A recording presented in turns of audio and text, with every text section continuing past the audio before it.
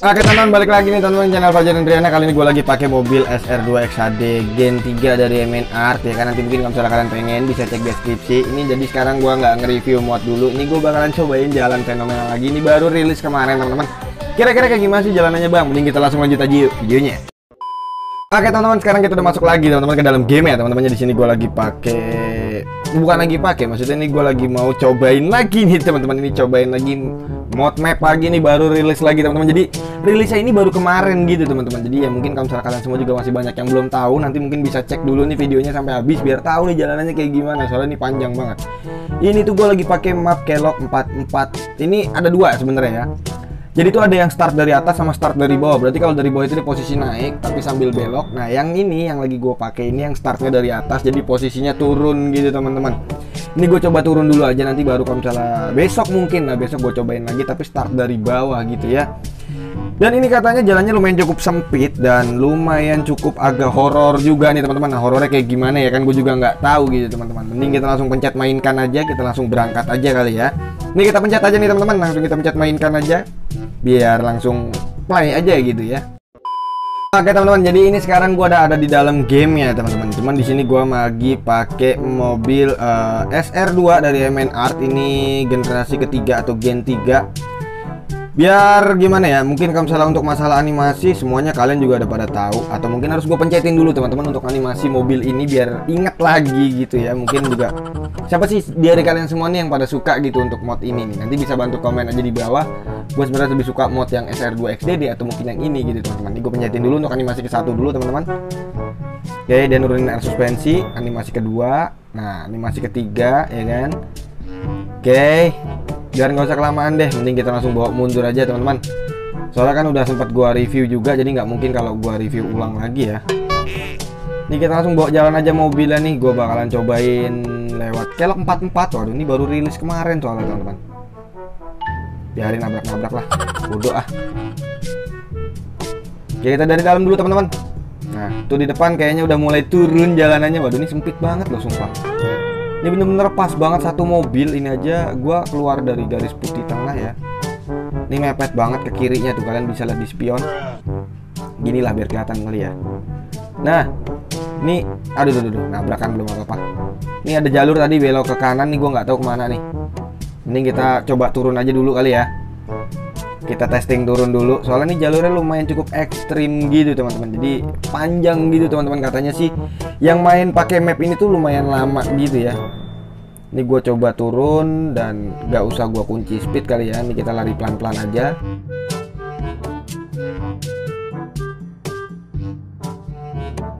Oke. Okay.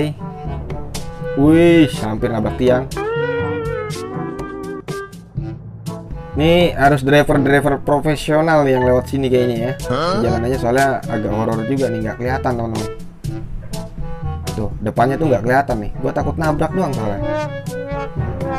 Hanya nih yang gue perhatiin spion doang nih, spion kiri sama spion kanan.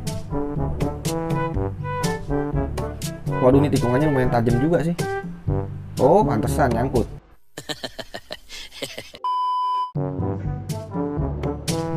Tahu muat atau enggak nih mobil. Lewat jalur begini ya.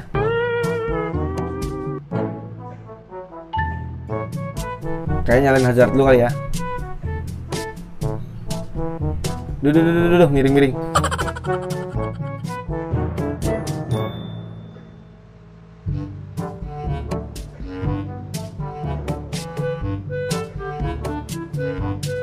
Wah, ada kaca cembungnya juga loh. Emang kata cembungnya nggak berfungsi ya? Gue keren bakalan berfungsi teman-teman. Oke, ini dari start atas. Mungkin besok gua cobain dari start bawah kira-kira kayak gimana jalurnya. Kalau posisi nanjak. Soalnya panjang banget teman-teman. Tuh kalian bisa lihat ya. Ini gua zoom, gua zoom out dulu. Tuh jalannya tuh panjang banget sampai bawah gitu tuh. Aduh nggak ngerti lagi sini gua serem banget nih Udah kita cobain jalan dulu aja ya. Kita zoom in dulu. Nah gini aja. Coba kita bawa sedikit agak barbar. Kalau mau cepat tinggal loncat jurang aja itu cepat. Kuntul. Wih karena nabrak tiang ini nggak tahu sih gua bisa lewatin ini atau enggak. Liatin jalannya sempit banget teman-teman ini mobil sih nggak bisa ini ya. Nggak bisa kalau langsung belok tuh nggak bisa nih harus motong manjang dulu gini nih. Waduh baru kelok 42 loh. Duh, mentok kan. Mundur dulu ya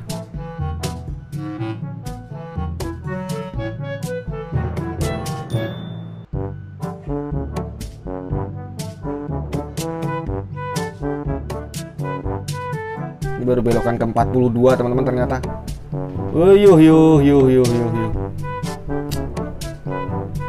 Jangan sampai kecebur bannya. Masalahnya kalau banyak kecebur udah repot urusannya teman-teman.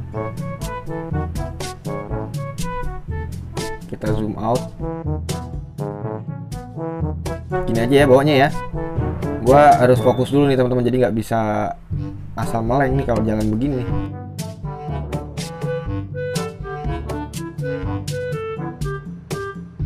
Ini belokannya nggak begitu tajam lah kita bablas aja ya.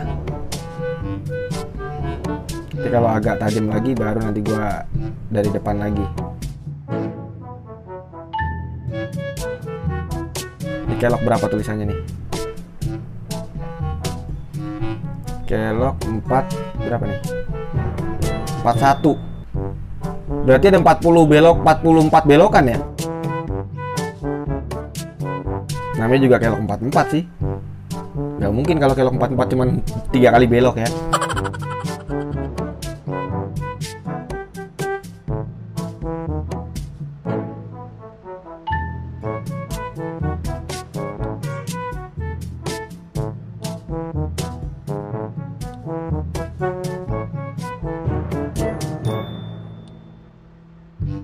Buh, kalian bisa lihat ya jalurnya kayak apa tuh? Di mapnya aja kayak gitu horornya tuh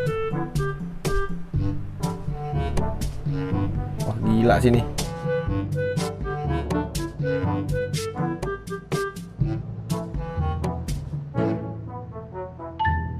tuh apa gue bilang? Ada yang nyusruk teman-teman. Ya kan? Trailer lagi tuh.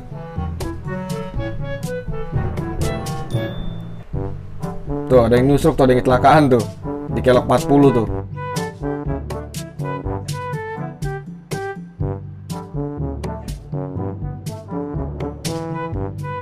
Oke Kita gaspol lagi. Ini belokannya soalnya nggak begitu tajam lagi ya.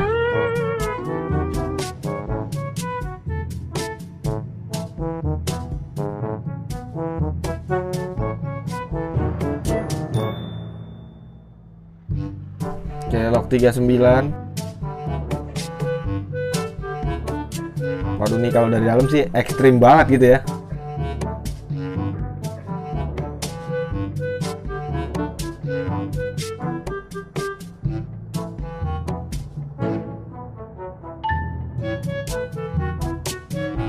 Saatnya kelok 38 kita lewatin teman-teman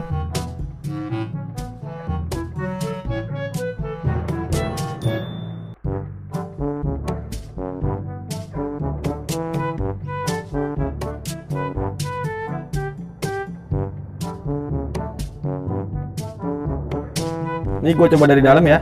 Ini 37 nih teman-teman. Jadi beloknya terus gini nih. Harus makan jalan lawan arahnya.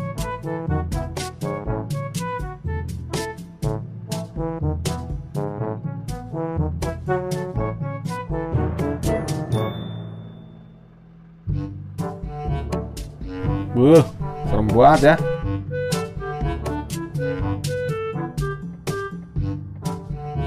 Tapi untungnya di sini lagi nggak ada traffic teman-teman jadi aman. Nah ini baru ketemu traffic. Ini kelok 36. Ini kelok 35 teman-teman di depan.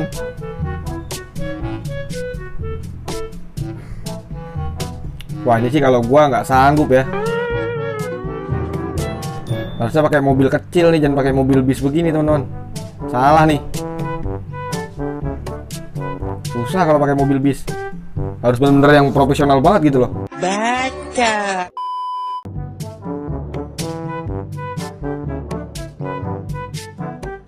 Eh, tiang kan kesundul sampai nggak bisa sempat ngeliat kamera gue.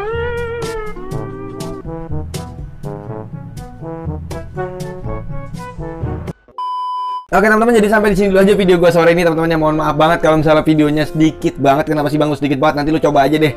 Jalannya nanti gue taruh linknya di deskripsi itu langsung gue aja ke yang punya teman-teman. Pokoknya keren banget nih jalanannya nih. Wajib banget lu semua cobain mau jalanannya nih kayak gimana. Jadi bisa ngelatih uh, skill kalian gitu ya. Nanti bisa tahu nih skill kalian tuh sampai mana gitu teman-teman. Biar nggak usah kelamaan nih langsung dipencet aja yang sebelah sini. Mungkin kalau misalnya lu semua baru nonton video gue untuk pertama kalinya karena nongol di beranda lo ya kan di beranda YouTube lo nih bisa langsung dipencet aja yang sebelah sini teman-teman tombol merahnya sama diaktifin loncengnya juga biar tahu nanti kalau gue baru upload video. Jangan lupa tinggalin jempolnya juga kalau suka sama video gue kalau nggak suka ya nggak apa-apa tapi kalau bisa ya tinggalin jempolnya juga gitu ya. Sama komen di bawah besok kita lanjutin nggak nih dari bawah ke atas ini kan dari atas ke bawah gitu jadi turun gitu ya ini sekarang kita naik gitu teman-teman. Menurut kalian gimana? Bisa langsung komen di bawah nanti gue cobain lewat bawah naik ke atas kira-kira gimana ya. Sama satu lagi jangan lupa follow Instagram gue, jangan lupa juga follow akun TikTok gue. Terima kasih banyak sebelumnya buat yang udah nonton dari awal sampai akhir video gue.